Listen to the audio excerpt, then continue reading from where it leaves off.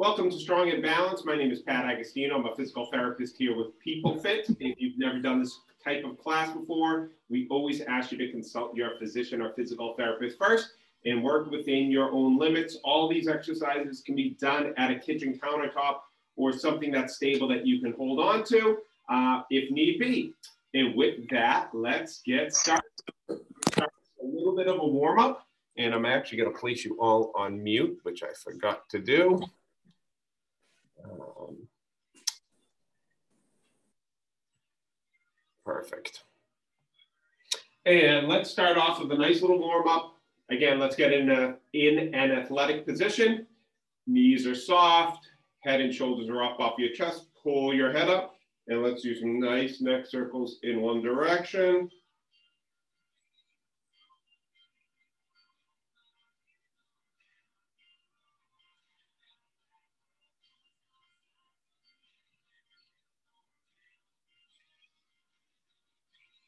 Excellent. And let's rotate in the opposite direction.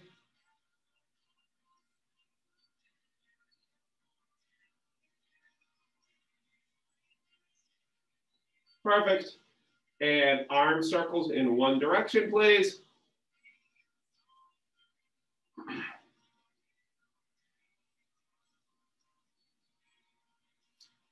And let's reverse that direction.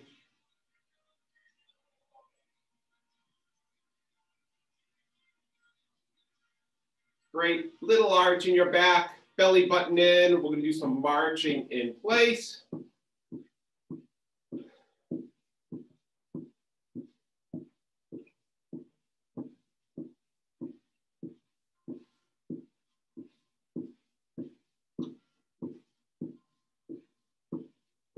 Fantastic. We're gonna start to bring the arms back and forth. If you'd like to add a little bit of a step back, we're gonna do it stepping back at an angle, trying to bend your front knee. Foot goes back, arms go back. Foot goes back, arms go back. Good, little side to side. We are gonna spend the last 10 minutes on the floor. So if you, um, or in bed, to do a few of those exercises and let's come on back up. Feet a little wider this time, knees are bent, stick your bottom out and let's do a little bit of rotating side to side.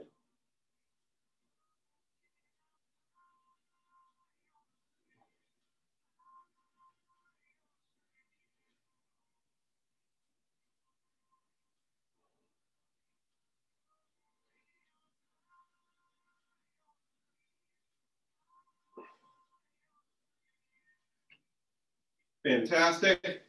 Feet are about hips width apart. Let's come back onto your heels and up on your toes. Heels and toes. Again, you're trying to grip the ground with those toes when you come on up.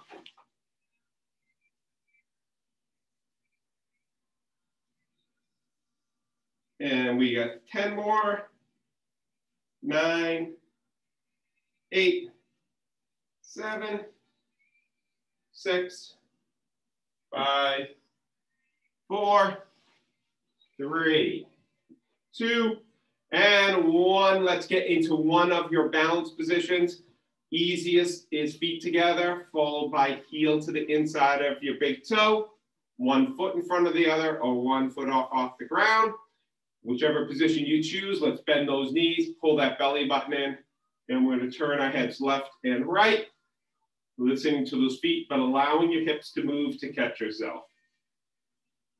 After a few head turns, you can figure out how your balance is today, and you may want to either move to an easier, easier position or a more difficult position.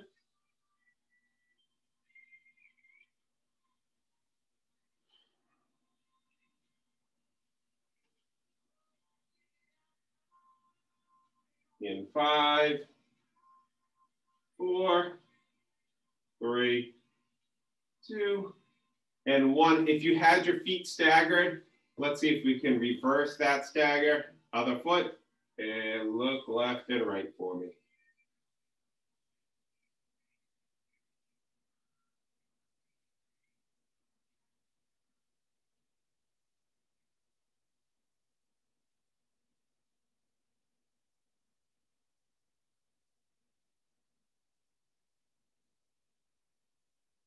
And five, four, three, two, and one. Let's come on back up. Arm out to the side, hand on your hip. Let's bring your feet together and let's slide your left foot slightly back. Bend your right knee and kick the left leg out to the side. Good. See if you can tap your heel to your toe. And see if you can do it with lightly touching the ground or just click the heel and go right back up without even touching the ground. Good. You notice I have my hand on my hip to keep it down.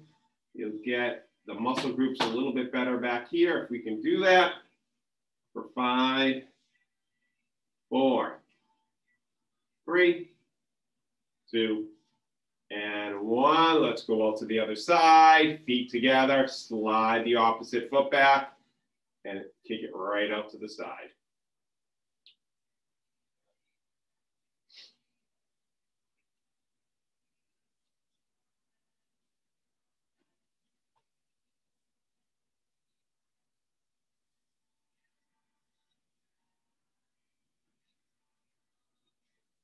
Eight, seven, six, five, four, three, two, and one. Let's go back to your toe and heel raises. Toes are slightly in. Grip that ground, heel and toe.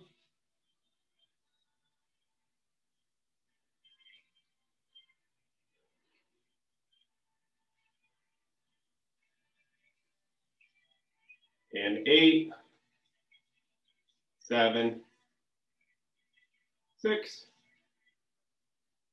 five, four, three, two, and one.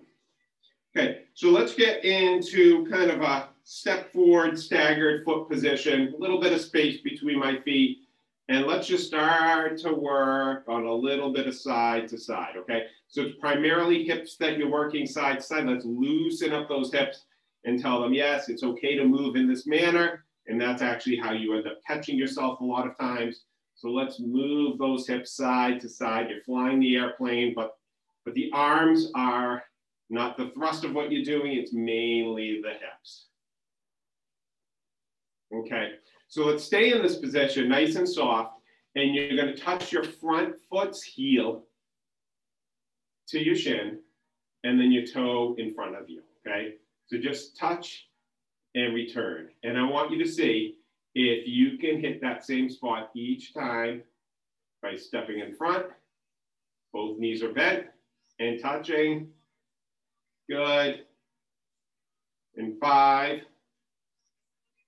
four, three. So it's toe to the floor, heel to the ground. All right, let's reverse direction and, and step forward with that other foot a little bit. Bend those knees, and let's just see if we can work them side to side. It's just a side to side motion. Good. And you can bring your arms out just to kind of get those hips to loosen up. Okay. In five, four, three, two, and one. Bring that front foot a little closer, bend those knees, and let's work on tapping your toe on the floor and heel to your shin. Toe to the floor, heel to your shin. Good, you can do it with arms out if you like to encourage those hips to move or hands on your hips, whichever you prefer. Listen to that back foot. Let's get some equal weight between your heel and your forefoot on that foot. Five, four, three, two, and one. Okay, let's reverse back to where we were a minute ago. So let's reverse feet. We're gonna do a second set here, except for if this is easy, then maybe try air touching the ground, which means you don't quite touch it, and then touching your toe to the back of your calf. So touch the front of and then the back. Otherwise, just continue. If this is a challenge, just continue heel to toe, heel to toe, or air touch to calf, air touch to calf. Good. Remember, this knee stays nice and soft. Hip is in. That helps you. For five, four, three, two, and I know that leg is getting tired, and one. All right, let's go to the opposite side. Again, shift on over there, step forward, and either continue with your heel to shin or toe to calf. Good. In eight, seven, six, five, four, three, two, and one. Let's shake those legs right on out, and we're gonna stretch those calves out. So let's turn your left toe slightly in, and this can always be done holding onto a countertop or a wall. Nice long step forward with the opposite foot. So what do I want? Shoulders back, but more importantly, belly button in to see if we can do a little pelvic tilt. And then you gotta bend this front knee. So maybe you can start to feel a little stretch in the front of this hip or the back of your calf. And let's take a few nice deep breaths.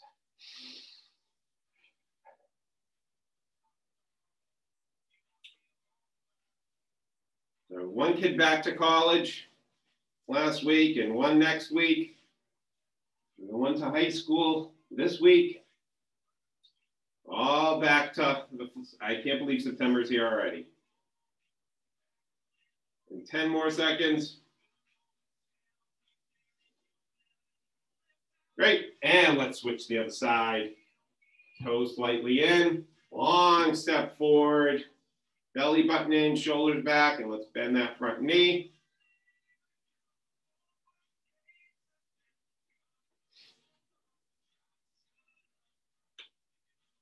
And about 20 more seconds here.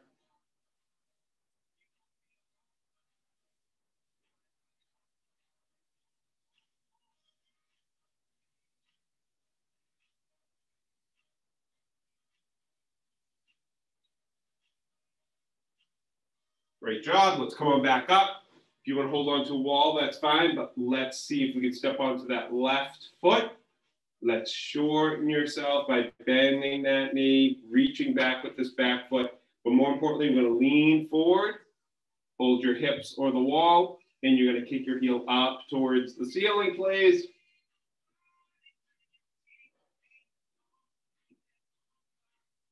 If it bothers your knee, and you're getting maybe snapping on the outside, maybe try turning your toe in a little bit or maybe out to get away from that. And eight, seven, six, five, four, three, two, and one. Let's switch to the other side. Same exact thing coming up and down. You're probably looking four or five feet in front of you on the floor. Your spine is nice and straight. Coming up and down for eight, seven, six, five, four, three, two, and one, let's come on up and shake those legs out for a moment.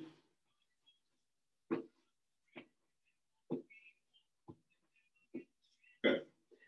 So we're gonna do a little bit of a twist. If you have a hip replacement or a little bit of arthritis, you're not gonna twist as much, but your knees are gonna be soft. Let's reach out with the right hand and you're just gonna see if you can, it's like opening a, a lazy Susan door. That's the way I think of it. I tap in front of me, and then I tap at a 90 degree angle. Tap and tap. Keep this knee bent because I want all the rotation not occurring at your knee, but occurring at your hip. So tap and tap, good. We're just opening the door or a sprinkler head turning. Right back, good. That's all we're doing is a little twisting. Now, if you can do it without quite bringing the foot back down to the ground each time, that is a challenge. It involves a lot of, these are rotational muscle groups. That's great for five, four, three, don't work through pain, two, and one. Very nice work. We're gonna do the same thing on the opposite side. Again, we need to keep this knee nice and soft to protect it. You're gonna tap in front. And then uh, if, you know, you're heading towards a 90 degree angle, you might not get all the way there, or some of you are quite flexible, will get a little further. But let's tap in front, tap out to the side. I'm moving my head, so everything from the belly button up, up is static, right? It is all moving in one unit. Tap and tap, or rotate and rotate for five, four, three, two, and one. We're gonna stretch your adductors. Um, for this one, again, you may wanna hold on to a countertop. Um, we're gonna see if we can just walk those feet out just a little bit. You can slide your hands down towards your knees. We're gonna maintain a little arch in your back. I want your head and chest up we're gonna lean forward to see if you can get a little stretch in the inside of the thighs. Good. For those of you that are super, super flexible and you wanna reach down towards the floor, please do. Nice, easy breaths.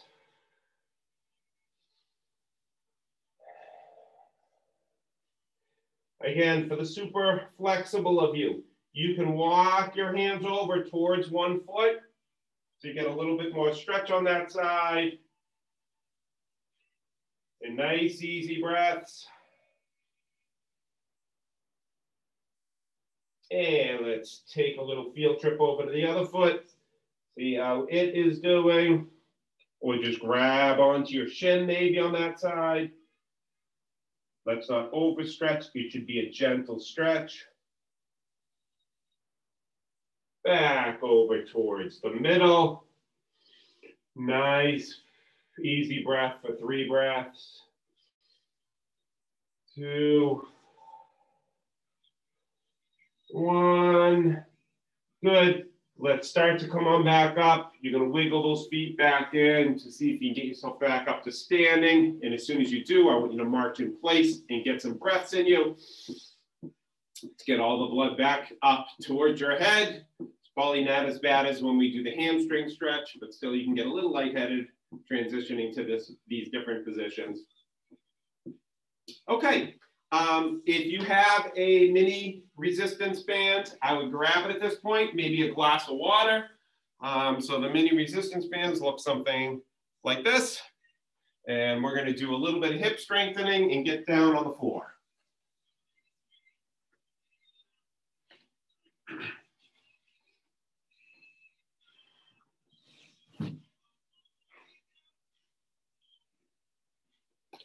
And we're gonna start on your back without the band on, because we're gonna do a little bit of abdominal strengthening first.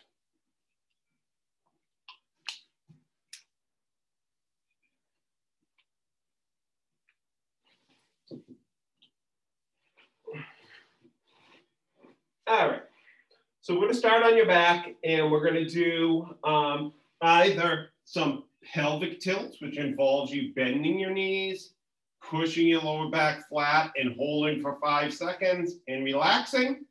Or if you prefer, you can do the pelvic tilt and lift your head up, just supporting your, your head with your hand. And we'll do a little bit of bicycling in this position, all right? Just to see if we can work those abdominals. Again, arching the back during abdominal exercises is what typically strains it for most people. So let's stay right up with your lower back press. As soon as you start to feel, oh, maybe my lower back isn't being pressed as well, then maybe come on back down. If you're cycling for the first time, you can even stick your hands underneath your butt to give you a little bit more support when you do that. Then again, you're not gonna be able to support your head. And let's do this for another 15 seconds.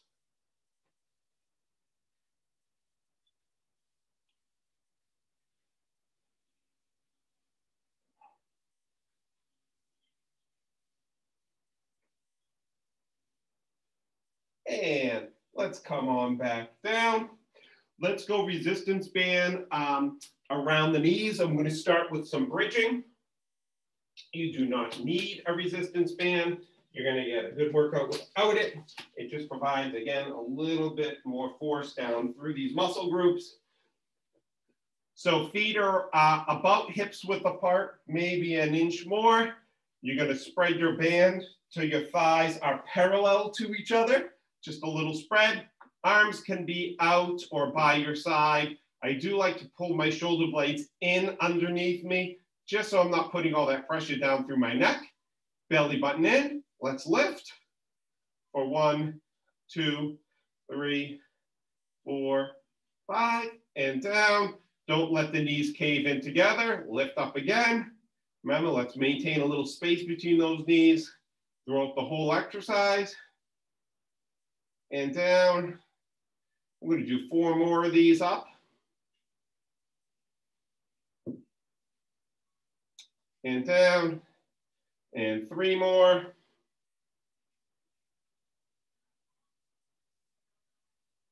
And down.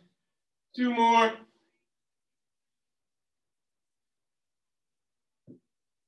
And down. And last one.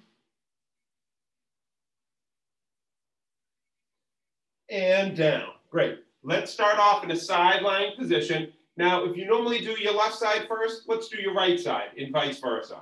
And we'll see if there's if you notice any appreciable difference. So in a sideline position, let's flex those knees a little bit. Hips are flexed, feet are together. Hand is on your hip. Let's open and close your clamshell.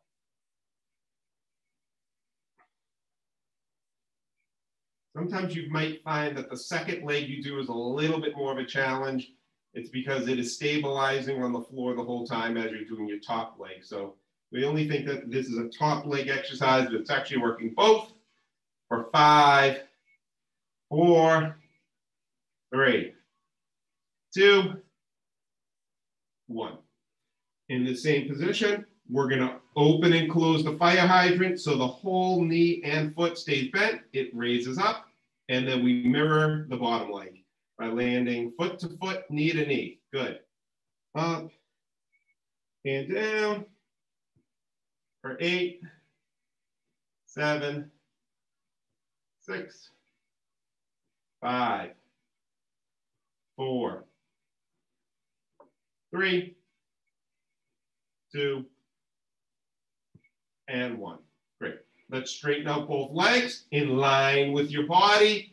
Bend the bottom foot back, roll your hips slightly forward and extend the top leg back. And let's raise and lower that leg.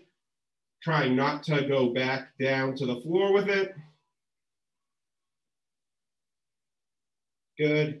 In 10, 9, 8, 7, 6, 5, 4, three, two, and one. Let's roll over onto the other side, please.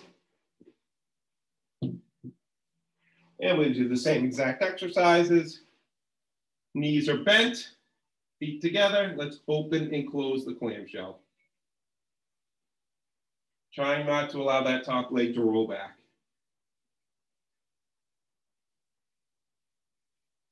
In eight, seven, six, five, four, three, two, and one. And let's open the fire hydrant and close. Up and down, whole leg. Keep your hip down away from your ear, pushing it down with your hand. Good, so we just get those hip muscles.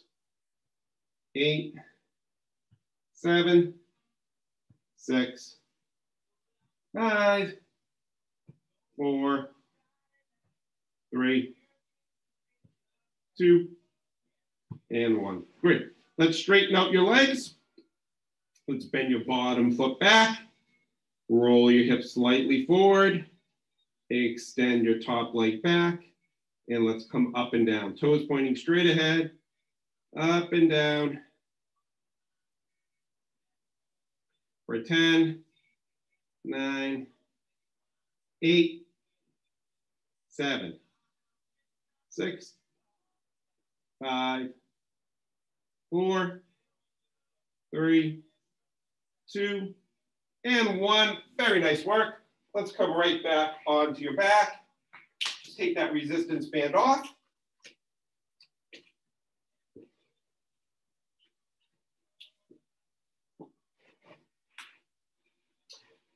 Uh, we're going to do a little bit of a different exercise now. So that's all you're going to do is we're going to bend the left knee. The right, right knee is straight. Let's lift the head up just a little bit, just to engage the abs. You can put your hands beside your head. And with your right leg straight, we're gonna do some gentle circles in one direction. Okay, so we're just circling with our abs in, our lower back is pressed, trying not to wiggle much but that leg. More little small circles. And let's reverse directions of those circles. Good. My circles are not smooth this morning. It's a different position for your hip flexor as well as your abs. For five, four, three, two, one. Let's switch to the other side. Again, let's engage the abs, bringing the shoulders off just a little bit. Head is supported to raise that other foot up about eight to 10 inches. And let's do some small circles in one direction. Doesn't matter which direction because we're gonna reverse it in a moment.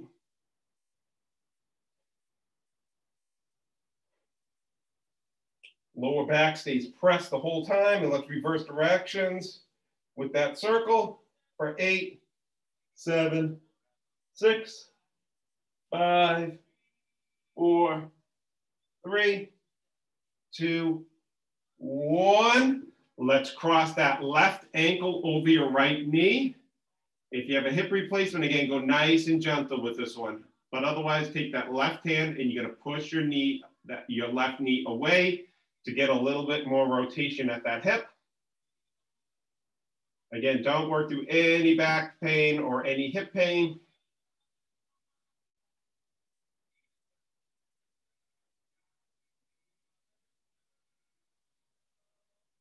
And let's reverse sides.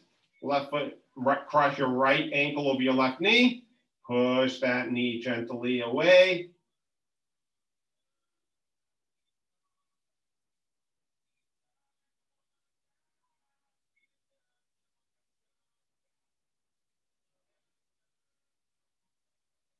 Great.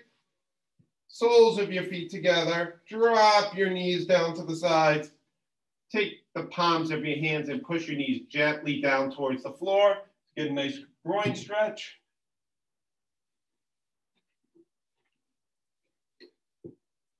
And this may be a good opportunity to do any stretches you typically do on the floor. And I appreciate you guys coming to the class this morning and I will see you next week. Take care. Thank you.